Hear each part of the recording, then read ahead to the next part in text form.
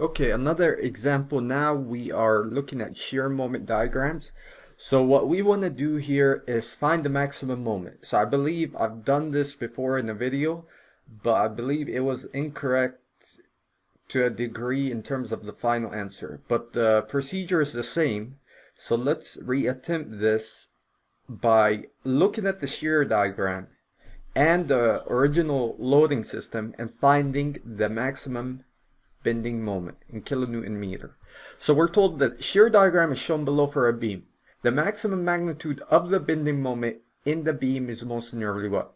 So we have the following beam with the loading conditions. We notice that A we're given the reaction moment and we're given the reaction at A. That's already solved. We have the reaction at C. We have a hinge as well.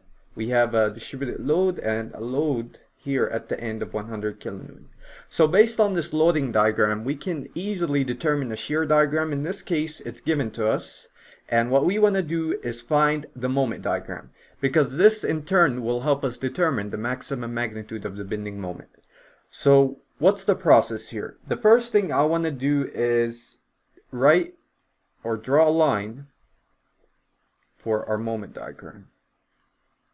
So let's draw this line here and I want to make certain section cuts in the point of interest.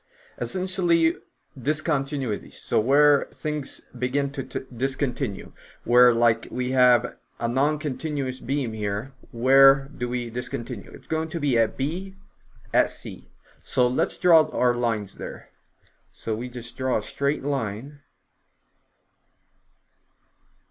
all the way down at B here. And let's do another one for C.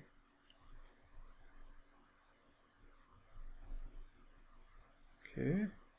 And at the end, we're just gonna end. I'll just draw a line as well. And we have that. And this is the moment diagram.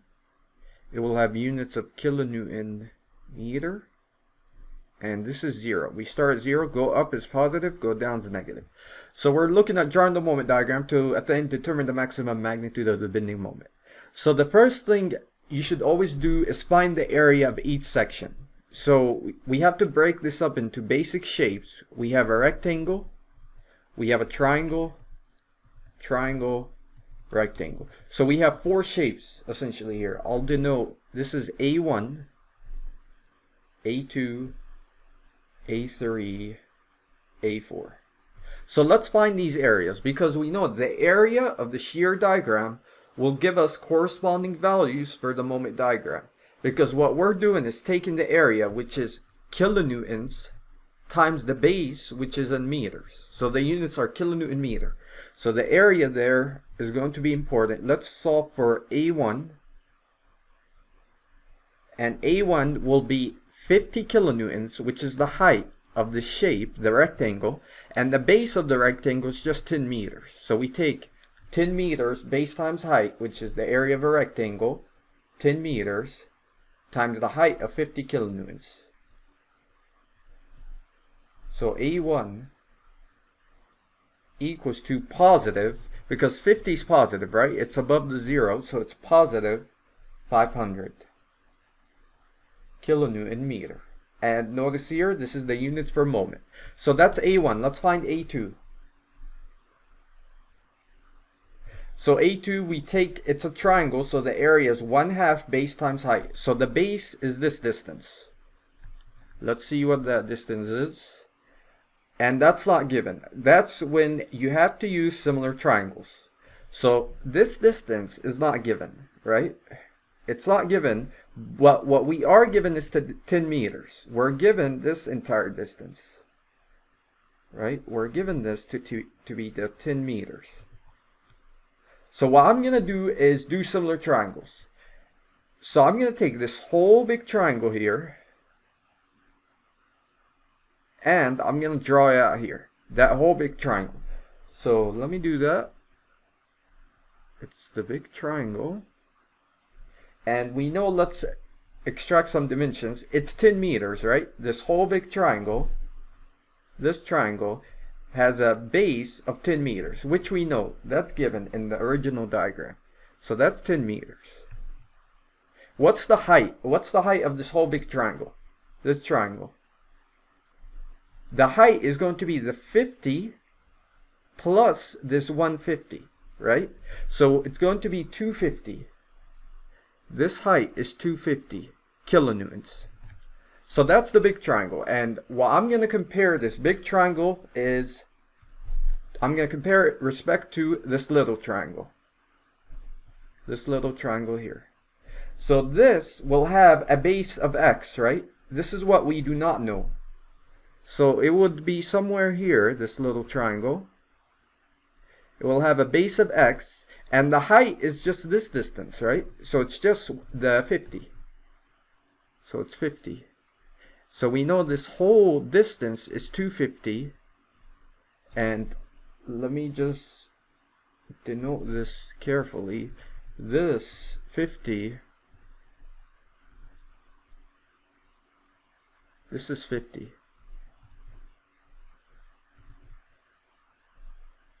50.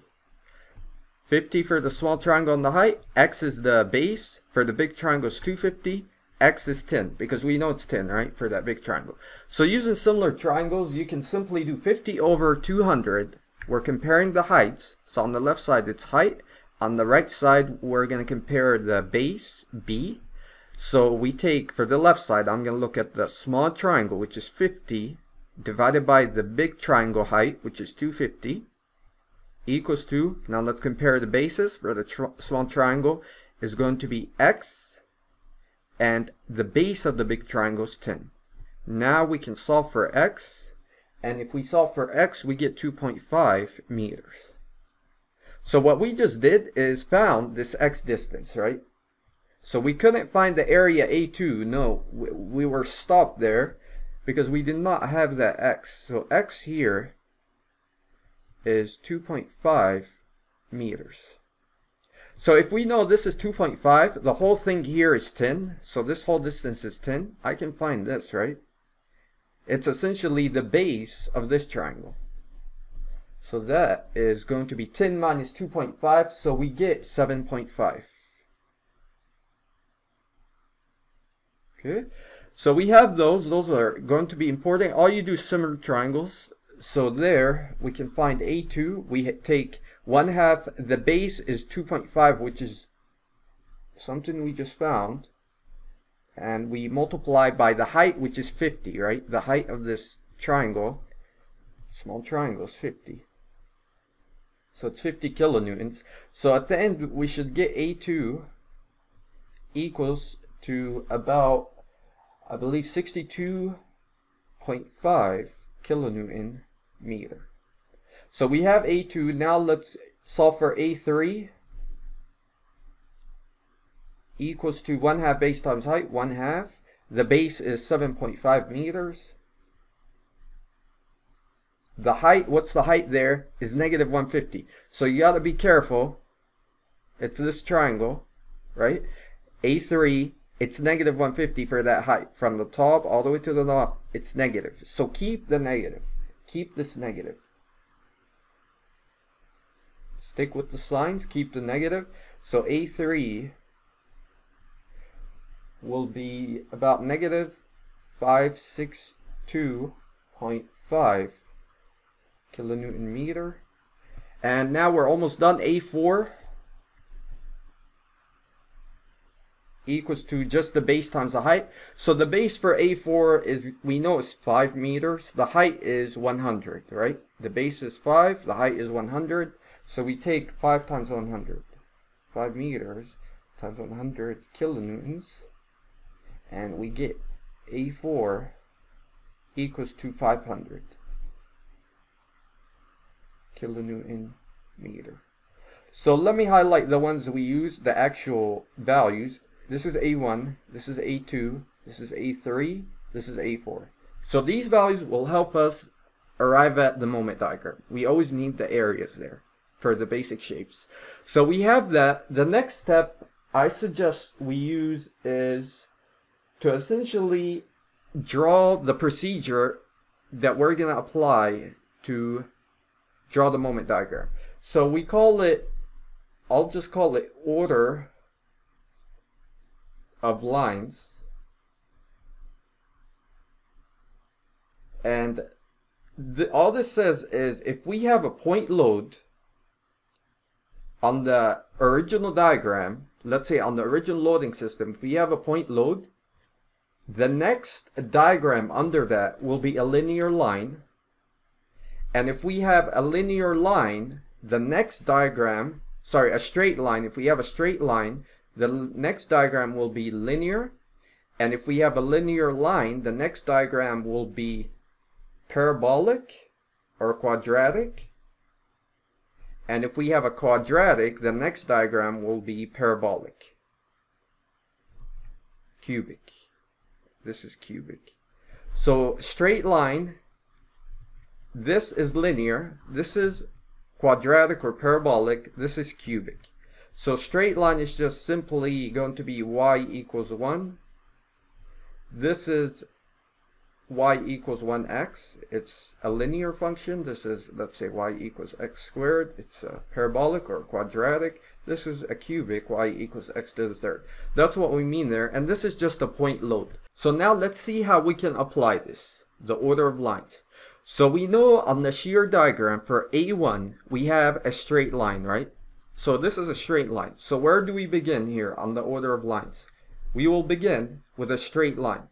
All this says is the next diagram, which is the moment diagram in this case, in this case, we will have a linear line for the moment diagram.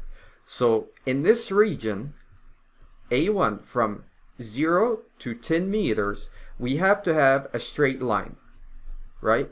So here we have a linear line. So on the shear diagram, we have a linear line, which is this. Then the next diagram, it says we have to have a parabolic function or a quadratic. So that's what that means. So before we do all of that and draw the diagram, one important condition here is we have a fixed end and we have a fixed end moment which is actually given. So this is somewhat tricky, but you just have to know on a fixed end, clockwise, clockwise, we always go up and if it's counterclockwise, which is how it is in, in this case, we always go down. So at A, we have a fixed moment of counterclockwise, right? So we have to go down. The arrow is pointing down. It's telling us go down at A.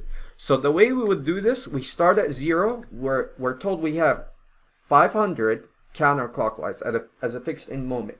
So we have to go down negative 500. So this is where we actually start, negative 500 kilonewton meter. Just know, always at a fixed end, you either have to go up and down, and that depends on the sign of the moment. In this case, it's, it's counterclockwise, so we go down negative 500. So now we can proceed with negative 500 as the starting point. We always do in this case because it's a fixed end moment. So what do we do next? We take this negative 500 and we add area 1. We add area 1. So negative 500 plus 500 for area 1 there is just 0, right? So we start at five, negative 500 and all, go all the way to 0 and we know it has to be a linear line because we have a straight line here, a straight line, straight line tells us we have to have a linear line on the next diagram. So we take a line here and go all the way to 0. So it's simply just like that. So we just took care of this area. So now we're at zero. We have zero kilonewton meter. We add the next area, A2. So A2 there. So A2 will be the 62.5. So our next point will be somewhere here. And let me make sure we denote this line where we have a difference there that intersects. So we know we're going there all the way to 62.5, positive 62.5 kilonewton meter. So we start, take 0 plus A2, which is 62.5 for this area. So we're at this point. So now we have to ask, what kind of shape do we have for our moment line? So we know we have a linear line there. So we have a linear line. And we know that linear line tells us the next diagram has to be parabolic or quadratic.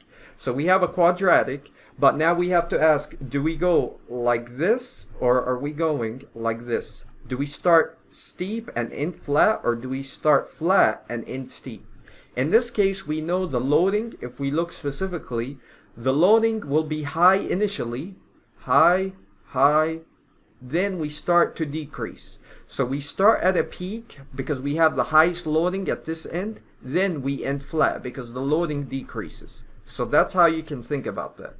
So now we have to start steep because we have a high loading, high loading, high loading, then we end flat because the loading decreases towards this end as we get closer to the end. So that's how you can know if you start steep, in this case we start steep and flat to 62.5. So we just took care of A2. Now we start at 62.5, then add A3. So 62.5 plus negative 562.5 will, will get us to negative 500 if we add that. So we end back down here at negative 500. And we know for A3, we have what kind of line? It's a linear line, right? Linear line, let's use the order of lines again. We start at a linear line. The next diagram has to be a parabolic, right? Or quadratic. So now, do we start flat or start steep? You just watch this triangle. The load is low, low, increase, increase, increase, increase. So we're adding a lot of load at this end, essentially we have the least less load at this end so we start flat and steep. Start flat and steep. So let's do that start flat flat flat and we end steep. And we have a parabolic function and now we finish off. We're at negative 500 we add area 4 we have to add this area area 4 is 500 so negative 500 plus 500 is 0 so it brings us back to 0 here. And we know now are we linear parabolic what kind of shape? So notice for a4 the line there is straight right? Line is straight. So the line is straight. We start here. It tells us the next diagram which is the moment diagram in this case. We have a, a linear line. So we just take here, we start at negative 500 and end at 0. So we have a linear line there, and essentially we know we did this right because we ended at 0. So now let's extract what the question actually wants us to find. It's the maximum magnitude of the bending moment. So the maximum magnitude is just the maximum magnitude. So don't put the positive instead of the negative. Be because we know the maximum is obviously the 500 right? So it doesn't tell us specifically if it's negative or positive. They just want us to find the maximum. So the maximum will be this value right? So it will be 500 and it's going to be a negative bending moment. So it's going to be negative 500 and that's the maximum magnitude. So it should be B. And that's it for this. Thank you